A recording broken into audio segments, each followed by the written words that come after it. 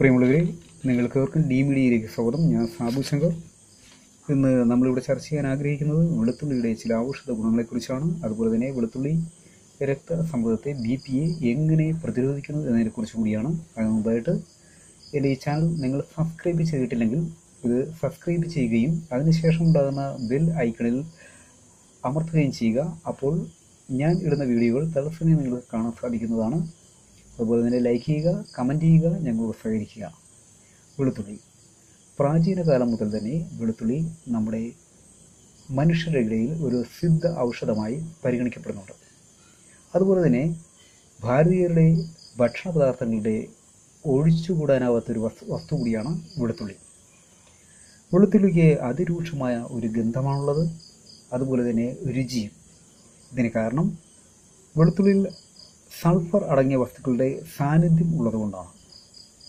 Alfin selenium എന്നീ ഘടകങ്ങൾ വെളുത്തുള്ളിയിൽ ധാരാളമായി അടങ്ങിയിരിക്കുന്നു. ബാക്ടീരിയ വൈറസ് ഫംഗസ് എന്നിവ മൂലമുള്ള രോഗങ്ങൾക്ക് വെളുത്തുള്ളി സിദ്ധ ഔഷധമായി ഉപയോഗിച്ചു വരുന്നുണ്ട്. നമുക്കറിയാം നമ്മുടെ ചുറ്റുപാടും ഒരുപക്ഷെ നമുക്കൊക്കെ ഉണ്ടാകുന്ന ഒരു ത്വക്ക് രോഗമാണ് അരിമ്പാറ. ഈ അരിമ്പാറ എന്ന അസുഖത്തിന് പ്രശ്നത്തിന് ഒരു പരിഹാരം കൂടിയാണ് വെളുത്തുള്ളി. നമ്മളിന്ന് പ്രധാനമായിട്ടും ചർച്ച ചെയ്യുന്നത് വെളുത്തുള്ളി രക്തസമ്മർദ്ദത്തെ പ്രതിരോധിക്കുന്നത് എങ്ങനെ എന്നതിനെക്കുറിച്ചാണ്. അതിലേക്ക് നമുക്ക് വരാം. നമ്മുടെ ശരീരത്തിൽ ആൻജിയോസ്റ്റിൻ രണ്ട് എന്ന ഒരു പ്രോട്ടീൻ ഉണ്ട്. ഈ പ്രോട്ടീനാണ് രക്തസമ്മർദ്ദത്തിന് കാരണമായി വരുന്നത്. വെളുത്തുള്ളിയിൽ അടങ്ങിയിരിക്കുന്ന അലിസിൻ ഈ ആൻജിയോസ്റ്റിൻ രണ്ടിനെ നിർവീര്യമാക്കുന്ന ഒരു ഘടകമാണ്. ഇങ്ങനെയാണ് രക്തസമ്മർദ്ദം നിയന്ത്രണ വിധേയമാകുന്നത് രണ്ടാമതൊന്നു കൂടിയുണ്ട് ഇതിൽ അടങ്ങിയിരിക്കുന്ന പോളിസൾഫൈഡിനെ ചുവന്ന രക്ത അണുക്കൾ ഹൈഡ്രജൻ സൾഫൈഡാക്കി മാറ്റാറുണ്ട്. ഈ ഹൈഡ്രജൻ സൾഫൈഡ് രക്തത്തിൽ കലർന്നും രക്തസമ്മർദ്ദം കുറയ്ക്കുന്നു.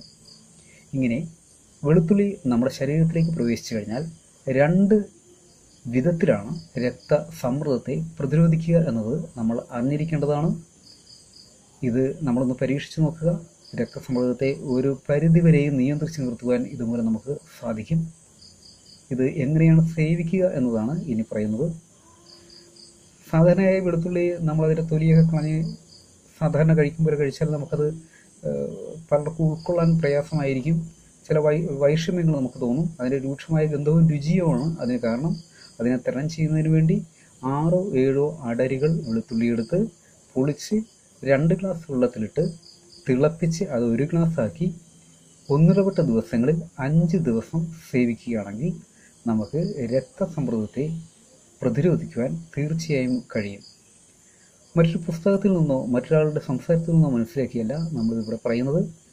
ഇത് അവതരിപ്പിക്കുന്ന എന്റെ സ്വന്തം അനുഭവത്തിൽ നിന്നുള്ള ഒരു അനുഭവ സാക്ഷ്യം കൂടിയാണ് ഇത്. അതുകൊണ്ട് തന്നെ നിങ്ങൾക്ക് ഏവർക്കും രക്തസമ്മർദ്ദമുള്ള ആർക്കും ഇത് പരീക്ഷിച്ച് നിങ്ങൾക്ക് ഇതിന്റെ അനുഭവം അവൻ അനുഭവത്തിലേക്ക് വരാവുന്നതാണ്. എന്റെ ഈ ചർച്ച ഇവിടെ അവസാനിക്കുകയാണ്. ഇനി മറ്റൊരു വീഡിയോ വീഡിയോയുമായി ഞാൻ വരുന്നതുവരെയും നമസ്കാരം.